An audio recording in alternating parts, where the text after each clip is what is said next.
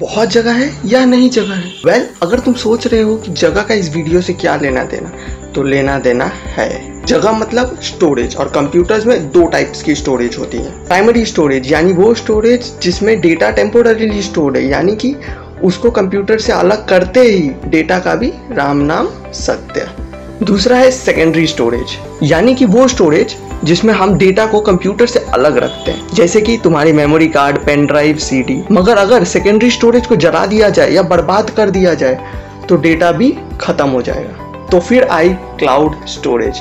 यानी कि डेटा को इंटरनेट पे रखना। जैसे कि social media, Facebook, Instagram, YouTube, पर प्राइवेटली भी तो डेटा रखा जा सकता है। जैसे कि गूगल ड्राइव। कितना प्राइवेट? ये तुम्हें भी पता है। पर एक चीज़ जो हमेशा प्राइवेट रहेगी तुम्हारे और हमारे बीच, वो है नीचे का सब्सक्राइब बटन।